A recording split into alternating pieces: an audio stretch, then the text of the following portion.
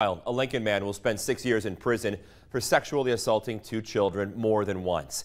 48-year-old Corey McRae took a plea deal last month on two counts of third-degree sexual assault and two counts of child abuse.